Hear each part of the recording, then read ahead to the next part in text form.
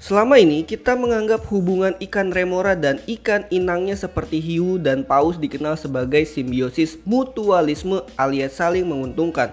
Tapi menurut seorang ahli biologi dari Boston College, Christopher Kennelly mengungkapkan kalau ikan remora memberikan beberapa kesulitan bagi inangnya. Pertama, parasit pada tubuh inang yang diduga dimakan oleh ikan remora lebih mungkin untuk jatuh sendiri daripada dimakan. Kedua, ikan remora bisa memperlambat laju si inang di dalam air biarpun tidak signifikan.